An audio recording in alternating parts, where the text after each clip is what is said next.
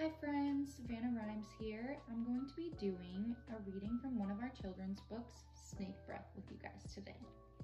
So let's begin. In a forest so green, where the tall trees sway, let's find some serenity. Let's breathe in a new way.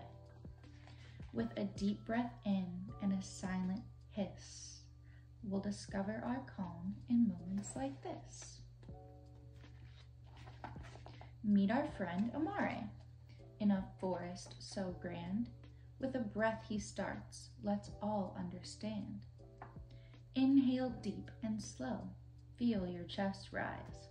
As we journey with Amare, let's all be wise. Now it's time to exhale, like a snake so wise.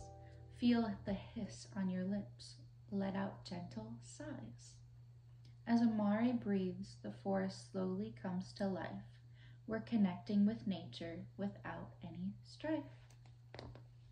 Thank you for listening. Um, go get your copy today and check out our website. All that can be found in our bio on our Linktree. Thank you.